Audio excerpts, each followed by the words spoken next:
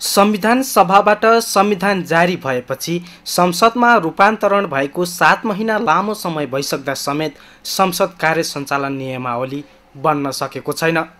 असोज पच्चिस गते एक महिना कार्य अवधिसहित गठन भएको नियमावली मस्यौदा समितिले दलहरूबीच सहमति जुटाउन नसक्दा लामो समयसम्म नियमावलीलाई पूर्णता दिन नसकेको हो। यो साना पार्टीहरू पनि र काङ्ग्रेस पनि त्यही कुराको पक्षमा छ।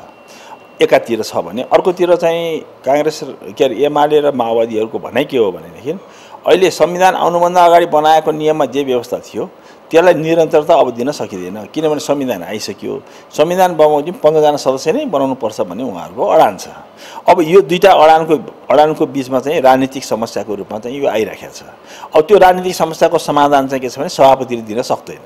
त्यो चाहिँ कुराकानीबाट संवादबाट यी मेजर पार्टीहरूको बिचमा चाहिँ बसेर छलफल गरेर टुङ्ग्याउनु पर्ने विषय हो भन्ने मलाई लाग्दछ संसदीय सुनवाई समिति कति सदस्य बनाउने भन्नेमा प्रमुख दलहरू काङ्ग्रेस एमाले र एकीकृत माओवादी बीच मत बाँझिएको कारण नियमावली बन्न नसकेको हो।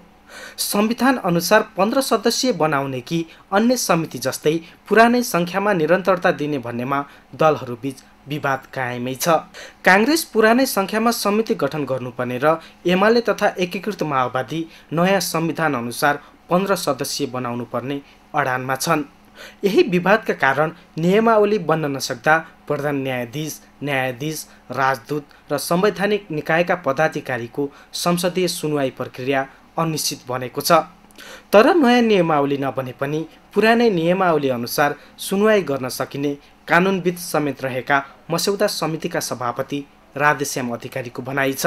अन्तरिम र आन्तरिक नियमावली जुन बनाएको छ त्यसले के भन्दछ भन्नुहुन्छ भने यो नियमावली नआउन्जेलसम्म त्यो नियम साबिकको नियमावली बमोजिमका सबै समितिहरू कार्यान्वयन गर्न सकिन्छ। र त्यसमा कुलबहादुर गुरुङ अहिले पनि संसदीय सुनवाई समितिको सभापति हुनुहुन्छ त्यसको सचिवालय छ त्यसमा चाहिँ सदस्यहरू हुनुहुन्छ। त्यसबाट चाहिँ के छ भने यसलाई टुङ्ग्याउन सकिन्छ। त्यो आज नै गरे पनि हुन्छ अहिले नै बोलाए पनि हुन्छ त्यसमा बाधा छैन। र त्यस कारणले गर्दाखेरि यो नियमावली बन्नु र नबन्नुसँग त्यसमा जोडेर हेर्न जरुरी छैन।